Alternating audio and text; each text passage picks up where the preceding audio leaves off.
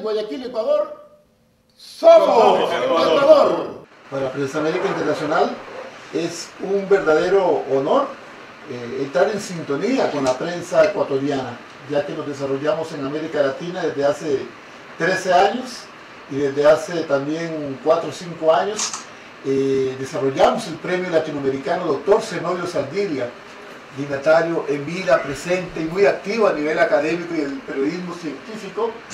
Y desarrollamos esto para levantar eh, la bandera por la libertad de expresión y para decirle a Ecuador que nosotros somos un organismo independiente, vigilante y que impulsamos el desarrollo en favor de la superación humana, de la superación de la nación ecuatoriana en este año.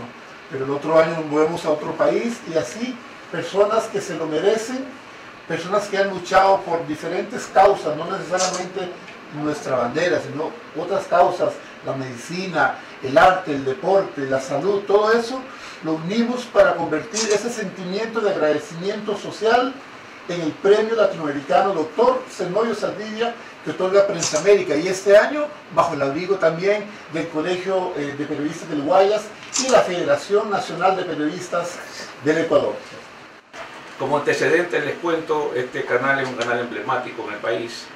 Eh, los cuarenta y pico de años que tiene de haberse creado, siempre ha estado en la preferencia, en la sintonía del pueblo ecuatoriano. Aquí han pasado situaciones especiales como la incautación que nos hicieron, por ejemplo. Durante 10 años de presencia en un correísmo, este canal no perdió su esencia informativa. Tuvimos una incautación, tuvimos problemas, como los canales que han tenido problemas cuando son incautados por los gobiernos. Pero eso nunca nos desvió de nuestra función especial, que es la de informar. Han pasado, se ha ido el gobierno, ha venido un nuevo gobierno, eh, nosotros semanalmente revisamos rating de sintonía, trabajamos en función de informar, de servir a la comunidad, pero también, finalmente, entonces termina siendo un negocio, tenemos rating de sintonía y nosotros estamos en las preferencias, ustedes pueden ver los ratings pedidos por IGOPE, nosotros lideramos lo que se llama el noticiero. Noticiero la franja de la mañana, de 6 de la mañana, al mediodía y lideramos en la noche. Nuestro fuerte competidor es Ecoavisa, cuando Ecoavisa siempre estuvo al frente de las preferencias del pueblo. Sin embargo, nosotros hemos podido revertir eso. Con ese antecedente les quiero agradecer la presencia de ustedes. Cuando Walter me contactó y me comentó de esta iniciativa, me gustó, eh, me congratuló y obviamente siempre digo, cuando me toman en cuenta y me consideran, es un compromiso doble conmigo. Doble porque es un reconocimiento a mi trabajo y un reconocimiento a mi trayectoria. debemos de ser modestos y creo que si se me lo está reconociendo en vida tiene un afecto y una importancia fundamental. Como usted decía, me gusta las palabras suyas en cuanto que habla de que esta institución que ustedes dirigen no solamente es de periodistas, sino pluralista, que abarca otras profesiones, que me parece súper importante, que el periodismo también se dedica a eso. El periodismo nuestro con el de Chile tenemos casi los mismos problemas, hemos identificado los mismos fenómenos sociales, pero lo importante es que seguimos trabajando. Esta profesión, lo voy a decir en un foro de periodistas como ustedes, es de todos los días ir haciendo cosas distintas. Aquí a mis reporteros digo, no somos los albañiles, sin ofender a los albañiles que hacemos hoy día una pared de 30, de 30 bloques. No, aquí todos los días vamos haciendo un bloque diferente, creando ideas diferentes, produciendo cosas diferentes. No los quiero aburrir, quiero desearles, eh, darles una bienvenida a esta casa. Eh, la casa es chica, el corazón es grande. Esta institución, eh, pese a que es un canal grande, la parte de noticias asignado, como ustedes ven, esta es una sala que tenemos reuniones semanalmente con todos los productores. La sala que está aquí afuera es la sala de reacción, afuera están los estudios, yo tengo mi oficina del otro lado.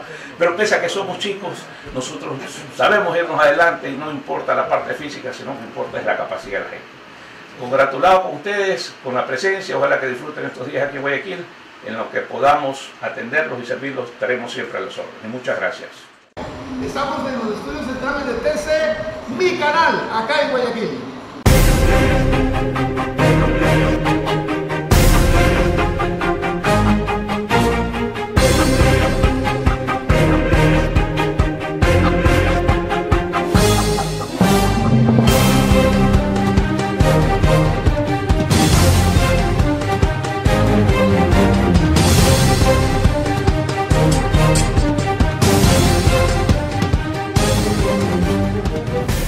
El premio latinoamericano Doctor Zenobio Saldivia 2018, Prensa América Internacional otorga a el licenciado Carlos Armanza Astudillo en la categoría Prensa y Televisión por su incansable y genuina búsqueda de la verdad a través de la herramienta periodística. Felicitaciones, Carlos.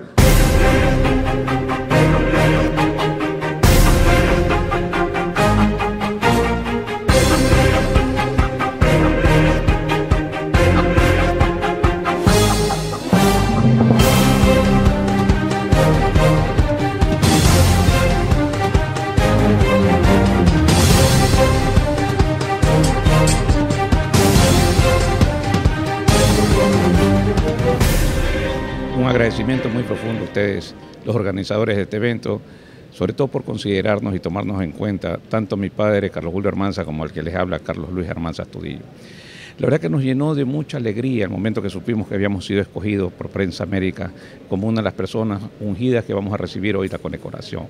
Esto para mí tiene una trascendencia inmensa porque ha traspasado fronteras. No es un reconocimiento local, es un reconocimiento internacional aunque no me llena de, ni me vanaglorio cuando recibo los reconocimientos, más bien me obligan a tener un compromiso con la sociedad. Y con esto que se llama el periodismo, que es lo que yo hago todos los días, para poder servir más y mejor a quienes todos los días nos sintonizan en las pantallas de TC Televisión.